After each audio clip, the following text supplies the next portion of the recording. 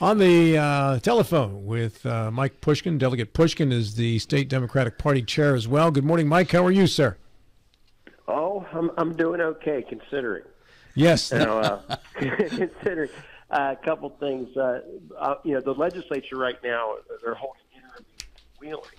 Uh, however, I am I am not attending. I was planning on attending, but I, I woke up Saturday uh, with COVID, so I'm home quarantining. And um, they, not to bore your uh, your listeners over in the Eastern Panhandle with the Charleston issue, but also we have a major catastrophe going on here in uh, on the west side of Charleston, where I live, where a uh, water main uh, busted and leaked into the gas line, and oh supposedly water was pumped through the gas line. So a good portion of the west side of Charleston is without gas, so uh, no heat or hot water.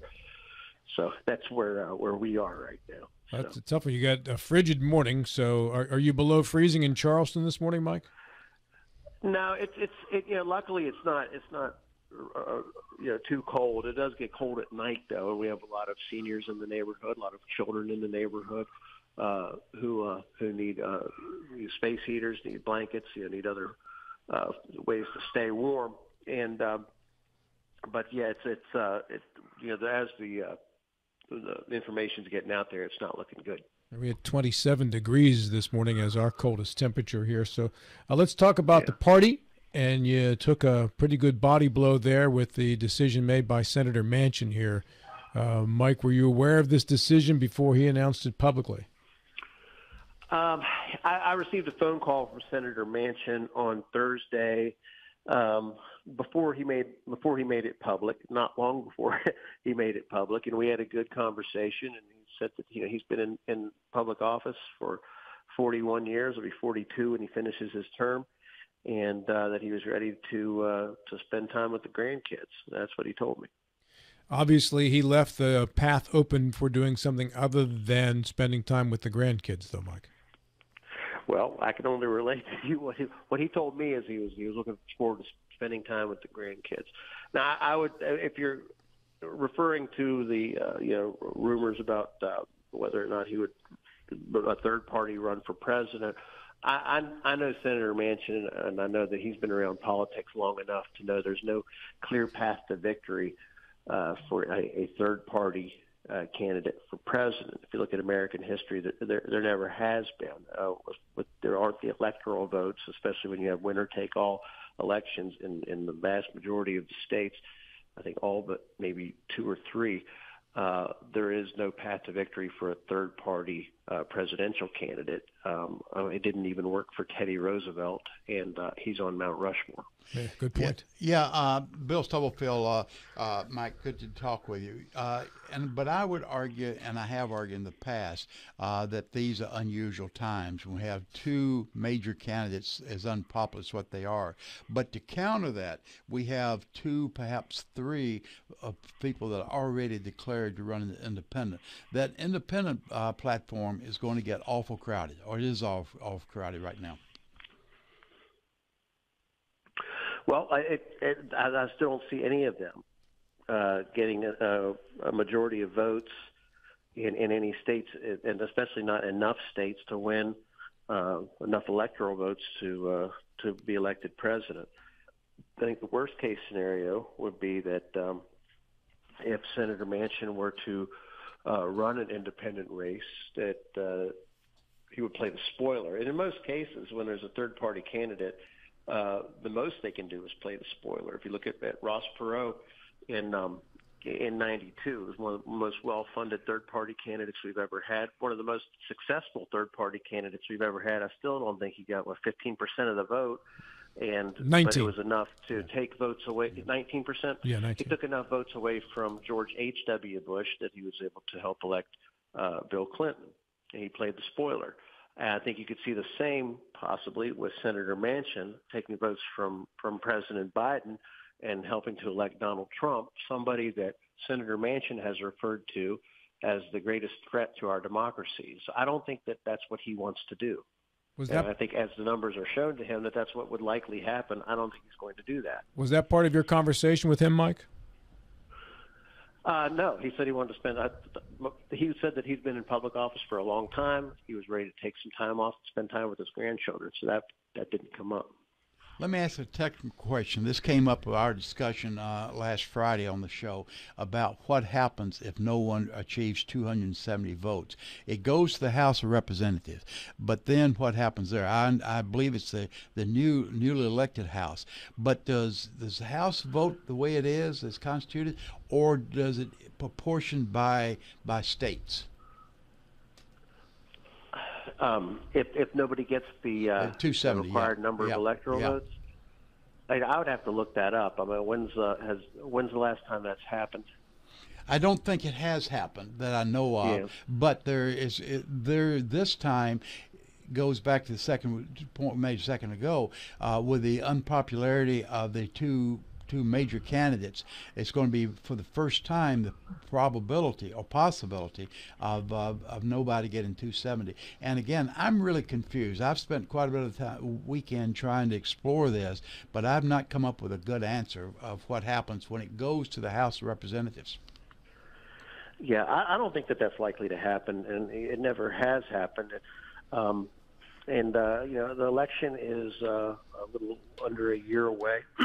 that's a long time in politics, and I think when it becomes more of a, of a binary choice, uh, you'll see people uh, really coming behind uh, one of the two major party candidates. That's really what happens every time, and uh, you'll have see a lot of people uh, voting against the person they think is the worst choice, and uh, people voting for the person they think is the best choice. And if you look at the uh, the legislation that was passed during the, just the first two years of the Biden administration, whether it was the uh, American Rescue Plan, uh, whether it's the infrastructure bill, uh, the bills that were passed uh, to, to help veterans across this country, and most recently the Inflation Reduction Act, uh, while uh, gets some bad publicity in West Virginia, it, it's really uh, not deserved because uh, of the of the amount, the unprecedented amount of, of, of of investment that you're seeing in West Virginia due to that piece of legislation. Uh, I, I think that once we're able to tell our story and it becomes a, a like I said, a two-way choice, uh, I, I believe that the president will be reelected. Hey, Mike, this is John Gilstrap. Good morning. I hope you're feeling better. Um, the, Slightly. when I got COVID, it just wiped me out. It, it's like you, you take your head off the pillow and it's time to go back to sleep. Um, Yeah, I'm over that part of it. I mean, I'm out of bed, uh, but uh, you know, not having heat uh, is, is definitely not helping matters. I bet. And I'm not trying to get sympathy. Don't take it easy on me. By any means. Oh, okay. All right. um, obviously, these are kind of troubled times for the Democratic Party in um, in West Virginia. I want to talk to you about the the route you see for regaining a foothold, and let me pose it in the form of a question. With the growth of the Freedom Part, uh, the Freedom Caucus within the Republican Party, and there's a sense that th- there's pressure to move the Republicans farther and farther to the right. Is that your opportunity to capture moderate Republicans and turning them over to putting to the Democrat Party? Yeah, that's a good point. I think the Republican Party across the country has really moved further and further to the right. And you know we're often uh, mischaracterized and, and, and wrongly defined as being out of step, out of touch. That we're too too too extreme, and it's really quite the opposite is true. Especially here in West Virginia, or at least in, in your state legislature, the Democrats tend to be the adults in the room where you have you know Republicans fighting over whether or not to uh, uh, to you know, to put the money in the fund that would that would attract businesses here, like like like Form Energy up in the, in the northern Panhandle, or they fought against you had Nucor in the eastern. I'm sorry, in the um, in Mason County. so we often you know we're often the adults in the room just fighting for what most people uh, would think is, is sound policy. Now, we haven't done a, a good enough job of, of, of, of getting that story out there, but I think that what you're seeing in, in okay, four out of the five uh, border states uh, to West Virginia had elections uh, last Tuesday, and they all turned out uh, very well for Democrats. I think that was in response, especially in Virginia and Ohio, that was a response to the Republican Party moving too far out of step with where most people are. uh, in, in Ohio, especially in regards to abortion. And in West Virginia, we have a complete uh, statewide ban. And no matter where people fall on the issue, I think most people feel that it's uh, a bit extreme to have an all-out ban in this state. So there, and there's a whole host of issues where Republicans have just become more out of step with the with the with the vast majority of, of voters. And I think, uh, well, we're seeing that in other states. I think West Virginia will come, will come along as well. Mike, shortly after Senator Manchin said he would not run for reelection, uh, Shrewsbury, who I do not know, uh, has declared that he would be running. Can you tell us something about this gentleman?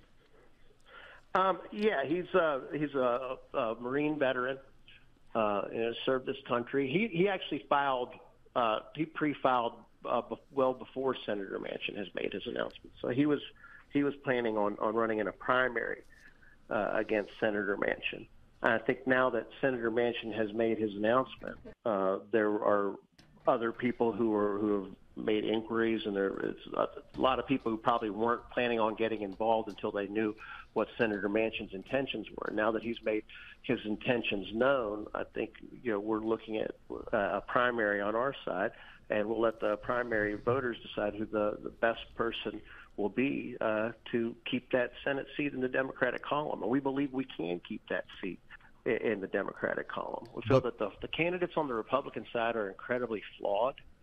Uh, we have a governor who, uh, during my I, in my entire tenure in the legislature, I'm sorry, my uh, I've served under Governor Justice's entire tenure uh, as governor. I've been in the legislature that long, and he doesn't show up for work, and and it shows when you have every single uh, department of state government that is in crisis right now. Whether it was the DHHR that the legislature had to split up due to the uh, just the toxic culture over there whether it's corrections, where we've been under a state of emergency, having to call in the National Guard uh, to to um, staff our prisons. And they get, recently, the state had to pay tax, you know, our tax dollars off in a settlement uh, with uh, you know inmates, and families of inmates at the from the Southern Regional Jail, and that's just the first one of those lawsuits to happen or, or whether it's uh, the, Department of Transportation. We have engineers leaving in droves because of the culture of corruption at the Department of Transportation. Um, I could go on and on and on. Every aspect of state government right now is failing under this lack of leadership from Jim Justice.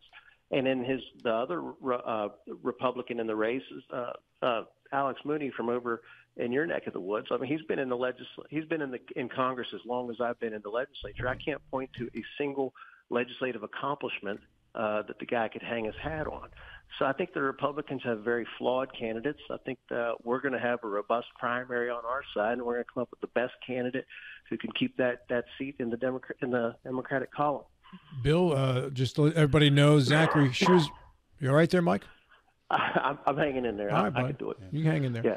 Uh, Zachary Shrewsbury is his full name, and he's 32 years old. Grew up in Jackson and Monroe counties. Lives in Fayette now. Served five years in the U.S. Marine Corps in the Fleet Anti-Terrorism Security Team, FAST, and he'll be our guest tomorrow morning on the program at 8:35. What is he doing now? Do you have any idea, Rob? We'll find out tomorrow at 8:35. I'll, I'll listen. Thank you. I think what he's doing now is he's running for Senate. He's running for Senate, and on the show tomorrow at 8:35. Uh, Mike, let's let's talk about uh, a, a, couple of different things. Uh, otherwise, with uh, state politics here, and I want to go in toward this upcoming uh, this interim that's going on right now, and then the upcoming legislative session too. What are some of the main things they're trying to accomplish during these interim sessions this week in Wheeling? Well, I think uh, generally when we go on the road, it's more informative. Uh, there are less uh, real oversight hearings as there are, uh, you know, uh, different uh, folks coming in to present on, on issues that will be taken up during the session. I watched part of it. unfortunately, I said I can't be there, but I watched part of it yesterday on the live stream, and it was basically going over, uh, you know, how some of the bills that would have passed, how they worked, how they haven't, what could be improved, just like a normal uh, interims, except they're on the road and they'll, you know, take in all the sights of Wheeling and and uh, and um, and enjoy that. Now, I'll tell you one thing. After what's going on right here in Charleston during the next session, I would like. I'm saying something I'm surprised is not in statute already. I feel that uh, utilities uh, should be required to communicate with their ratepayers uh, when a utility is going to be uh, uh, cut off. They're, Uh, they they're- will- they're not required that now? It's a failure to. I guess not because they just cut off the uh, most of the west side, and there was not a bit of communication from Mountaineer Gas. That's interesting. So th- th- this is this isn't regards to a, to a late payment. This is because of a disaster No, of the type you're having right no, now. They'll Yeah. let you know when it's a late payment. Yeah, They have a way to communicate with you then. No, this is in regards to a an accident that happened. Either way, people are still without gas, and there was no communication from the gas company on this. I would like there also to be some type of bill that says when internet is down or cable is out, they cannot charge you for the time you're subscribing to their services when they're not providing a service. Yeah. Well, I tell you, I think that the legislature really needs to step up and protect ratepayers from some of these out of control utilities right now. Since every time they go before the Public Service Commission and ask for a rate increase, uh, they get it. Uh, we seem to have a revolving door between the industry and the regulators when it comes to the Public Service Commission. I think people are getting uh, pretty fed up with that. People are every every uh, every year they see their their uh, their rates go up and their and the service go down and uh, and this is just uh, you know another issue that we're having down here. But I would like to see something in statute that really requires them to at least, at the very least, communicate with the people who are, are paying their bills and let them know when something like this is, is occurring. Mike, do you know how the accident happened? Because that means two pair, two lines, a gas line and a water line, had to been broached at the same time or in close proximity. Yeah, there was a a, an, a a house. I don't think anyone was living in the house that uh, had caught on fire. I think there was a small explosion that that caused the water main to break, and somehow almost like it's broke into the uh, the gas line as well. I said I don't. You know, nobody really knows everything because we're not receiving any kind of communication from either the water, either from West Virginia American Water or Mountaineer Gas. West Virginia American Water, I believe, just uh, moved into the Eastern Panhandle with a purchase in Jefferson County there. Well, good luck. Uh, I've always been a firm believer that in public water systems like we used to have uh, everywhere. I think when uh, the uh, uh, you're providing something as essential as water, you should answer only to the ratepayers and not the shareholders. That's how I feel about it. When you have the money, especially with a company like that, where they're uh, more concerned about um, uh, sending profits elsewhere and less concerned about putting those profits back into the infrastructure. You have like things like this happen all too often. Mike, in the upcoming legislative session, there are a lot of folks who will be lame ducks who are in leadership. You've got uh, several people on the Board of Public Works that are running for a different office. The governor's obviously running uh, for Senate. And my question to you is do you feel like that will be a distraction and affect the upcoming legislation or uh, legislature? Or is this uh, no different than the House of Delegates, which has to run for reelection constantly anyway because you're on a two year term? Well, I think in election year sessions, there, there's always a big difference, and um, you see, uh, unfortunately, less and less real work get done, and uh, more of the bills that are introduced and, and put for, before us that are mainly for political purposes. I, hope I'm wrong about that, but that's how it usually is in election years. And I think now this year you have several members of the legislature, both in the House and the Senate, that are seeking higher office. It could be uh, even even worse in that regard. So we will be on the lookout for it, and uh, and we'll call it out when we see it. When we see somebody who's really putting their own uh, political ambition ahead of the work that really needs to get done for the people of West Virginia, we plan on letting people know about it. Mike, you're faced a, uh, a challenging uh, problem uh, with the uh, the dominance of the Republican Party. Uh, we've asked before, how do you uh, hope to make inroads? Of the candidates that you see on the horizon, uh, would be more moderate candidates or more, uh, let's say, uh, uh, severe, extreme progressive candidates? Well, well, we want candidates who are willing to work. We want candidates who are willing to listen to their constituents. I think that's what's more important to me than ideology is are, are they willing to listen to their constituents? Now, if that's the case, then it, they're going to be the perfect candidate for that particular district. Or in some districts, they might want people to have uh, to carry this view, and in another district, it might be uh, something different. We want candidates who reflect their district and uh, and we're getting uh, lots of phone calls, lots of inquiries, a lot of people who are interested. A lot of conversations are happening with candidates for for for every office right now, whether it's statewide, legislative, or down to the county or, or municipal level. We are building calls, and we plan on putting together a, a great slate of candidates to really reflect the values of, of, of everyday West Virginians. And I think you're seeing uh, the mood in the country definitely change, where the Republicans have become far more far too extreme, and, and they're the ones that are really out of step uh, with the with the voters in the middle. And uh, you know, West Virginia might be a little bit late to the party, but we're going to get to the party. And uh, I, I, you know, it, maybe not this cycle, but uh, here uh, we're going to fight for this cycle. But um, um, I think what you're going to see is a change throughout this country, where people are going to are going to come to their senses and start voting for the the party that actually wants to get work done, and, and not the party that simply wants to uh, put out uh, these you know meaningless culture war uh, type issues that really don't have a whole lot of effect on the day to day lives of people. One minute left, Bill. Okay, uh, a push back a little bit. Uh, every year at this time, we hear uh, someone from the Democratic Party in West Virginia say we're going to have a very vibrant, a very aggressive list of candidates. Yet, the majority of the uh, the uh, majority of the races, there's no Democrats on the ballot. What's going to be different this year? Thirty seconds, Mike. well, we have a we have a plan, and we've been working with our county committees and working with people in different communities, and and um, and actually focused on, on a lot of down ballot races. I think in the past, unfortunately, a lot of the focus was put at the top of the ticket. We're focusing on, on every single race.